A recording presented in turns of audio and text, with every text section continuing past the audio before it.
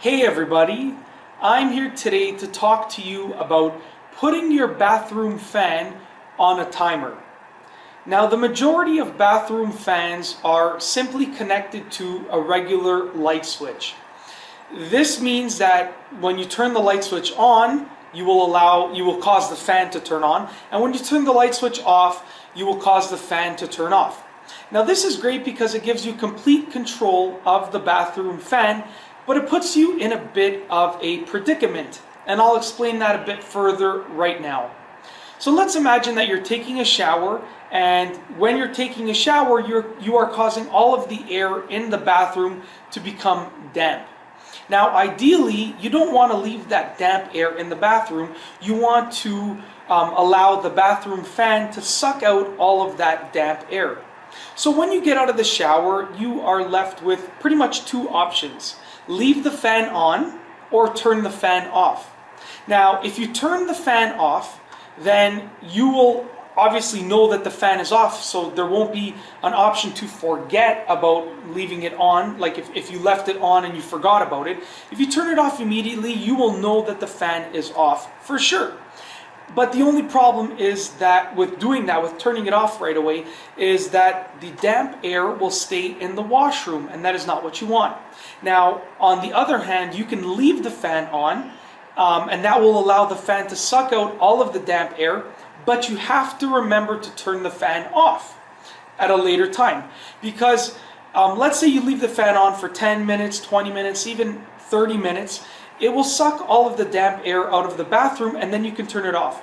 But if you forget to turn the fan off, it will end up sucking out the conditioned air in your house and releasing it into the atmosphere.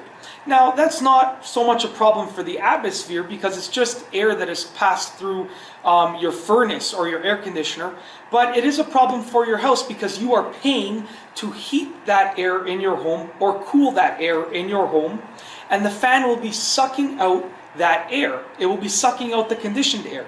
So let's say you forget to turn off the fan and it stays on for three hours or four hours because you went out and you forgot to turn it off.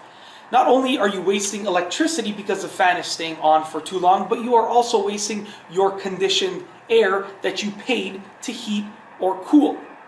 So that is the predicament that you are in. Now, if you put um, your bathroom fan on a timer, you can actually get out of the shower and set the timer for 20 minutes, 10 minutes, or half an hour, or however long you want the fan to stay on for, and walk away. And once that time has elapsed, then the timer will cause will will immediately shut the fan off once the time has passed.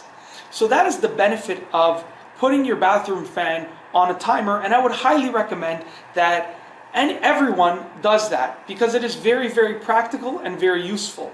Now I will put uh, I will put up in this video a picture of a bathroom fan timer or an electrical switch timer that I got from my local hardware store just so you can see what it looks like. Now they're actually really easy to install and pretty much install in the same way um, as a light switch. So it's not you're not doing anything different when you let's say you are installing a light switch um, that is attached to your bathroom fan. You're pretty much not doing anything differently because the installation process is virtually the same. It's virtually identical. So with that being said, I would highly recommend that everyone installs a bathroom fan with a timer um, attached to that bathroom fan because it, it will allow you to set a specific time for the bathroom fan to remain on once you have uh, exited the shower and exited the bathroom and then the fan, the bathroom fan will automatically turn off once that time has passed. And that's all I have for you today. Thanks for watching.